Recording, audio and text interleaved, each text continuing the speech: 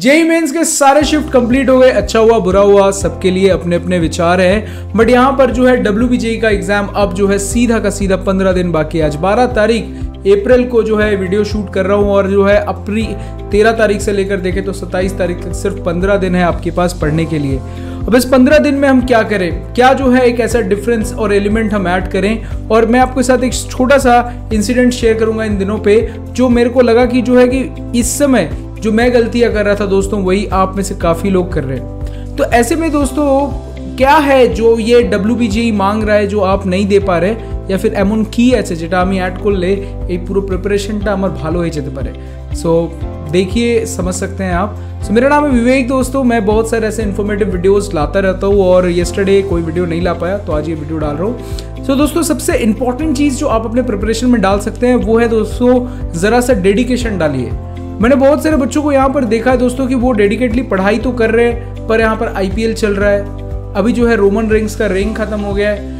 तो ये सब समय नहीं है ये सारी चीज़ों को फोकस करने का, और फोकस करने का सिर्फ़ एक मात्र सरिया है कि डब्ल्यू इसके बाद जो है यही सारे डब्ल्यू डब्ल्यू के मैचेस और आईपीएल आप बड़े स्क्रीन पर बड़े कॉलेज पे देखोगे सो ये आपका सपना होना चाहिए और जो है किसी तरीके से जितना हो सके अच्छे से प्रिपेयर करके अभी एग्जामिनेशन दीजिए। कुछ सैक्रिफाइसेस कीजिए, ज़्यादा बड़ा रिज़ल्ट आप देख पाओगे। जब आप जो सैक्रिफाइस रिजल्ट्स को देखोगे तो।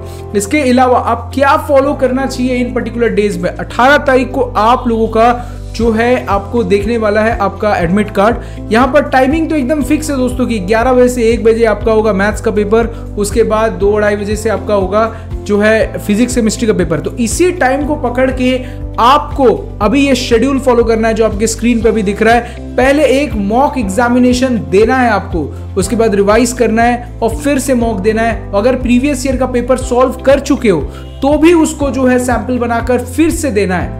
और दोस्तों, एक ही चीज़ अगर बार बार बार बार कीजिएगा और एक ही टाइम पर बार बार कीजिएगा तो वो जो मेन डे पे आप एग्ज़ाम दोगे ना, आपको फील ही नहीं होगा कि आप एक मेन एग्ज़ाम को देने आए हो। वो जो टेंस्ड इन्वायरमेंट है, वो जो इन्वायरमेंट है कि एग्ज़ाम दे रहा हूँ, वो जो फीलिंग है, वो आपके अंदर आएगी नहीं। और that is more important than जो है, ज़्यादा से ज़्यादा हम ये पढ़ लें, वो पढ़ लें इंपॉर्टेंट चैप्टर्स देख लें, ये ज़रूरी नहीं है। इंपॉर्टेंट चैप्टर्स तो वो है दोस्तों जिसमें आप कंफर्टेबल हो, जिसमें आप अपने आप को बेस्ट समझते हो। और इसीलिए एक स्वॉट एनालिसिस भी लोग बहुत सारे करते हैं। मैंने खुद किया था अपने प्रिपरेशन में। सो यहाँ पर जो है, आप स्ट्रेंथ खोजिए पेपर के अंदर, आप खोजिए वीकनेस और उसके आप तैयारी कीजिए। आपको खोजना है दोस्तों, सबसे इंपॉर्टेंट चीज़ वो है अपॉर्चुनिटीज़ पेपर में ऐसे कुछ कुछ क्वेश्चंस हैं जो कमाल के इजी होते हैं या फिर आपसे आपके लिए अपॉर्चुनिटीज़ हैं। और at the end of the day आपको थ्रेड्स खोजना है दोस्तों। थ्रेड्स पेपर में वो होता है जो देखते ही आपको छोड़ देना क्योंकि 200 मार्क्स के जो आपके पेपर हैं, या फिर 100 मार्क्स का जो आप मैथ्स दोगे दोस्तों, हर मैथ्स का क्वेश्चन आपके लिए नहीं बना है। और जब अगर आप उसको पढ़ रहे हो तो इसका मतलब आपने ऑलरेडी थर्टी सेकेंड्स खा लिया पेपर का, और इसके बाद उसको सॉल्व करने बैठ रहे हो तो इसका मतलब आपने और भी अपने माथा को गुड़ गोबर कर दिया है। तो ऐसे क्वेश्चंस को हमें देखना ही नहीं है, हमें पढ़ना ही नहीं है, पर इसको हम समझेंगे कैसे कि हमको कौन सा क्वेश्चन देखना नहीं है और पढ़ना नहीं है। वो तो दोस्तों सिर्फ़ आप प्रैक्टिस से समझ सकते हो। और जब तक आप मॉक नहीं दोगे प्रीवियस ईयर को ही बनाकर मॉक नहीं दोगे, नहीं नहीं भैया, हमने प्रीवियस ईयर सॉल्व कर लिया तो भी उसको बनाकर मॉक दो। और दोस्तों, आप में से सिर्फ़ मैंने इतने वीडियोस बनाए, अढ़ाई हज़ार से ज़्यादा व्यूज़ आए, और आप में से कोई भी हमको मेल नहीं किया कि जो है कि आप मेरे को बुक्स दो। मैंने सिर्फ़ चार बच्चों को देखा, एक लड़की ने और जो है तीन लड़कों ने मेल किया मुझे और मैंने उनको उनका बुक का एक्सेस दे दिया।